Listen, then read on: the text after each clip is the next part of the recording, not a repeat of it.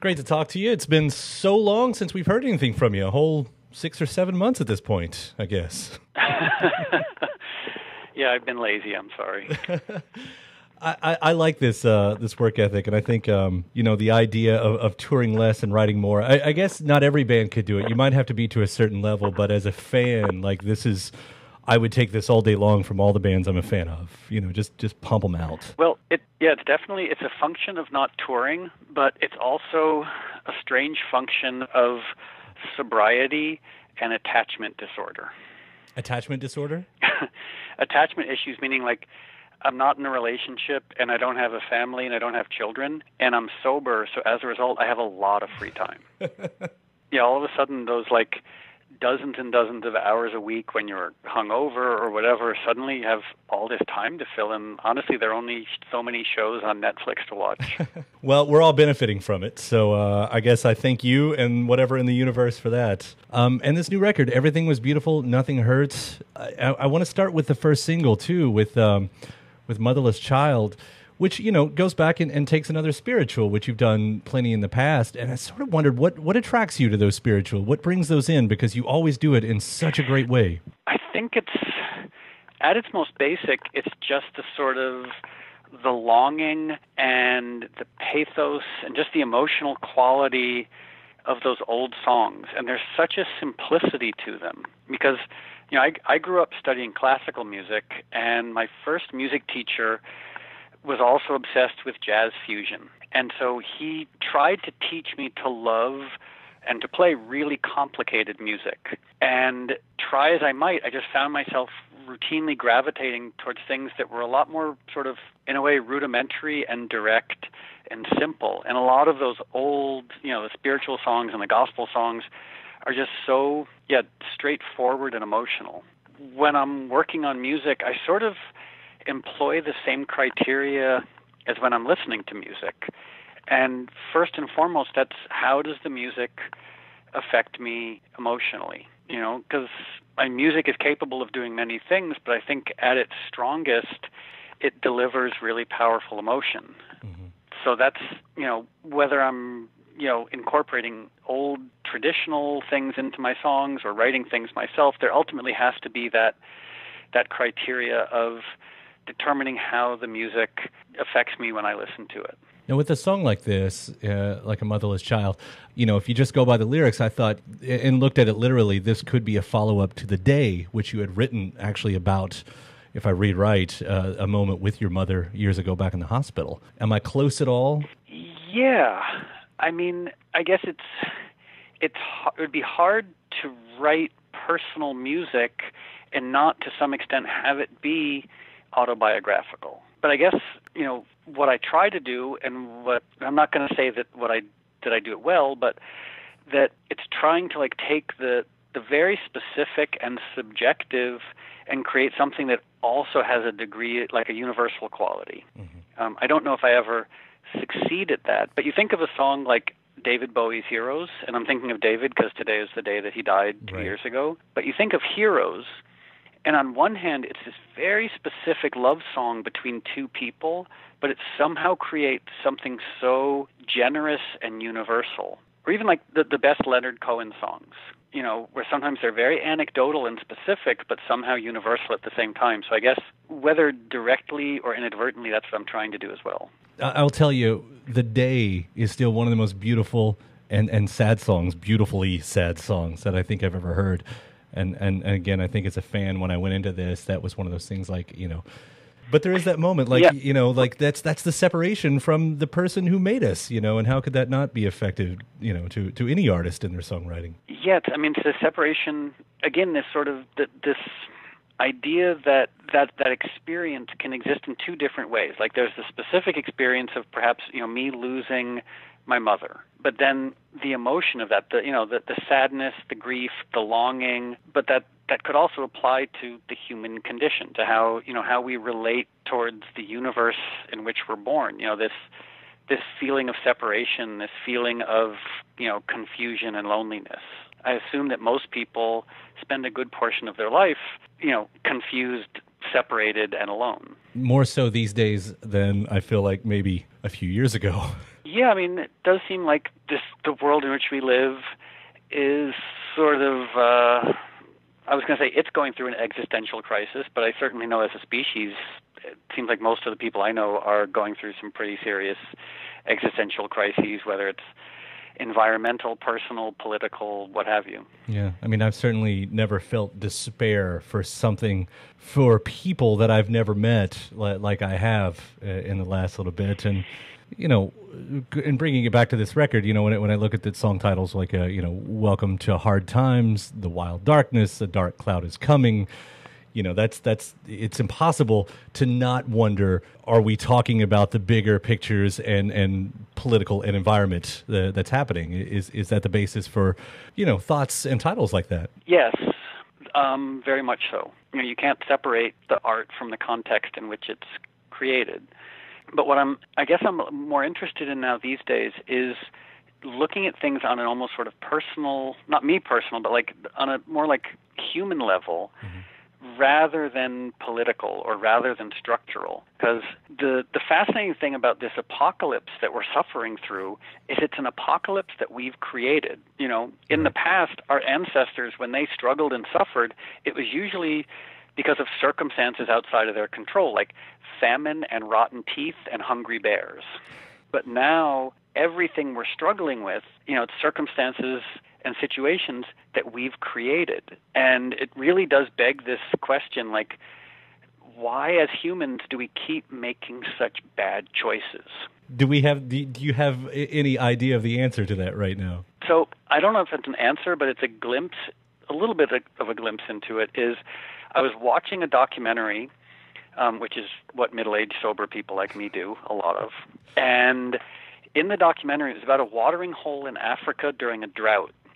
And it's like every creature in this environment, from lions to hippos to zebras to eh, you know alligators, they'd all converged on this watering hole. And in the middle of it were these tiny little monkeys. And the monkeys would run up, scoop a handful of water, and run back before they got eaten. And they were like you know at the very bottom of the food chain at this watering hole. And i had this thought. I was like oh those are our ancestors you know terrified monkeys drinking water filled with alligator and hippo poo for a split second hoping that they're not going to get eaten. So i feel like even though we've evolved to an extent we're still those scared little monkeys at the watering hole. Yeah. We just assume that we're about to get eaten. Every threat is a mortal threat, and we're never going to have enough to eat or drink.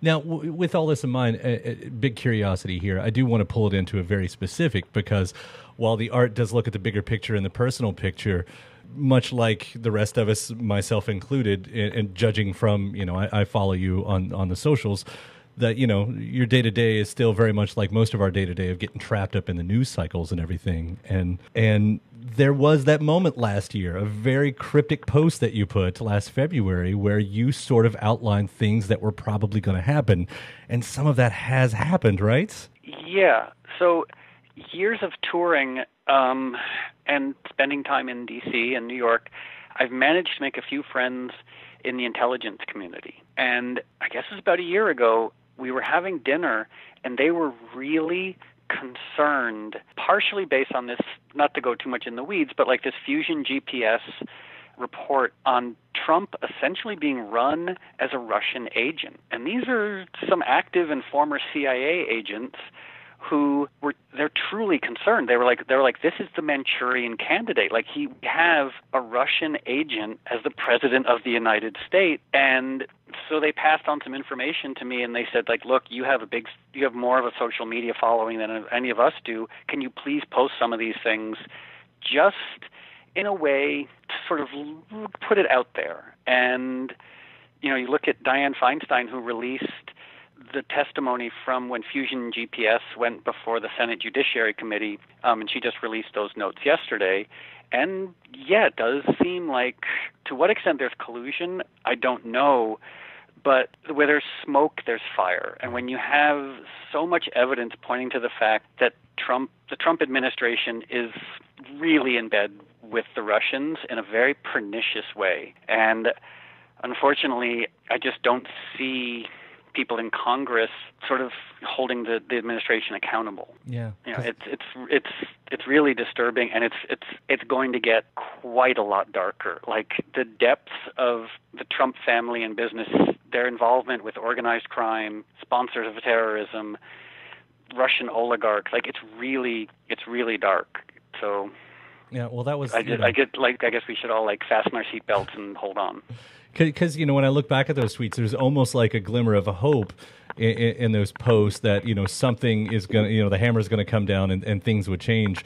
But it sounds like you know, nearly a year later, with what's happened and what hasn't happened, and what you do, what you do know and, and, and might not know, but you don't sound as hopeful that there's going to be that result. Well, I, I worked under this naive assumption that our elected officials in the Senate and the House um, would be interested in investigating possible collusion between the executive branch and a hostile foreign power. And the degree to which even people like John McCain and Chuck Grassley have sort of abdicated their responsibility that's what makes me really pessimistic is that they're you know they seem to be putting party loyalty ahead of country and decency. And i'm that, that i find that to be really threatening. Yeah well we're all feeling really threatened uh, day by day by day. I mean, luckily, you know, I can, and and this is probably, I'm, this is definitely, I'm saying this of a place of privilege. I know this.